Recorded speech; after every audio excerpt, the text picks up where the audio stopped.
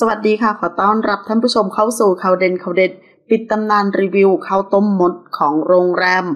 โดนฟ้อง 5 ล้านชนะคดี แต่เกือบหมดตัวความจริงอาจทำให้จน กรณีที่คุณดรีมออกมาแฉที่พักแห่งหนึ่งในอำเภอเขาค้อ จังหวัดเพชรบูรณ์ราคาค่อนข้างสูง โดยเธอสั่งข้าวต้มมาในราคา 260 บาท แต่สิ่งที่ได้กลับมีมดแถมมาเต็ม จึงได้รีวิวผ่านติ๊กต็อก ถึงเรื่องที่เกิดขึ้นจนมีคนชมกว่า 4 ล้านครั้ง เหตุการณ์นี้เกิดขึ้นในปี พศ 2564 หลังจากนั้นคลิปดังกล่าวกลับถูกแบน พร้อมกับมีความคืบหน้าว่าทางรีสอร์ทได้ฟ้องคุณรีม 5 ล้านบาท เนื่องจากมองว่าทำให้รีสอร์ทเสื่อมเสียชื่อเสียง ล่าสุดวันที่ 22 กุมภาพันธ์ TikTok ของคุณรีมมีการอัปเดตความคืบหน้าเกี่ยวกับเรื่องนี้ว่า ปีที่แล้วตนถูกรีสอร์ทฟ้อง 5 ล้านบาท หลังจากถูกฟ้องก็ทำตามกระบวนการ ตั้งแต่การจ้างทนายและขึ้นศาล ผลคือศาลชั้นต้นยกฟ้อง แต่ทางรีสอร์ทยื่นอุทธรณ์คดี กระทั่งเมื่อวานนี้ศาลมีคำพิพากษา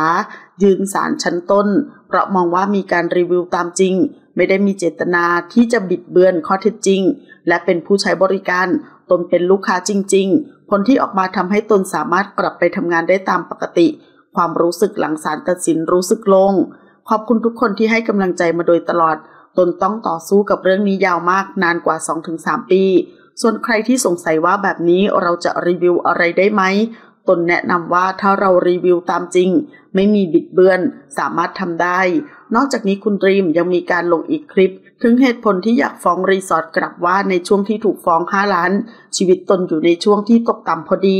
บ้านถูกตัดน้ำตัดไฟ กลับต้องมาวุ่นวายเรื่องการจ้างทนาย เรื่องเอกสาร เพื่อสู้ไม่ต้องเสีย 5 ล้าน และเมื่อศาลชั้นต้นตัดสิน ตนก็รู้สึกโลงคิดว่าเรื่องจบแล้วก็ประกาศตามปกติ แม้ไม่มีคำขอโทษจากอีกฝ่ายก็ตาม จุดเปลี่ยนมันอยู่ตรงที่ทางรีสอร์ทกลับอุทธรณ์ตนเสียค่าทนายความไปมาก รวมๆแล้วก็หลักแสนตนต้องกู้หนี้ยืมสินมาใช้จ่ายหลายคนอาจจะมองว่าไม่เยอะ แต่ในสถานภาพของตนตอนนั้น มันเยอะมาก สรุปคือใจจริงนั้นอยากจะฟ้องมากเพราะชีวิตตนเดือดร้อน แต่มันยังมีค่าใช้จ่ายอื่นๆ เพิ่มเติมไม่จบไม่สิ้น สถานภาพตอนนี้คงไม่ฟ้อง ถ้าหากตนมีเงินเยอะๆ ก็คงฟ้องแน่นอน ในขณะเดียวกันชาวเน็ตให้กำลังใจคุณดรีมเป็นวงกว้าง โดยมองว่าโรงแรมไม่ควรฟ้องกลับตั้งแต่แพ้ครั้งแรก แล้วยังไม่มีการชดเชยอะไรให้อีก ที่สำคัญคือมีคนถามว่า เมื่อโดนอุทธรณ์คดี เรื่องค่าทนายต้องทำยังไง ซึ่งคุณดรีมตอบว่าตนต้องจ่ายเองอีกครั้ง เรื่องนี้ทำเอาชาวเน็ตเซ็งมาก ต้องมาเสียค่าทนายสองต่อ บางคนก็เข้ามาอวยพรขอให้คุณดรีม มีแต่ความโชคดี เพราะโชคร้ายผ่านไปแล้ว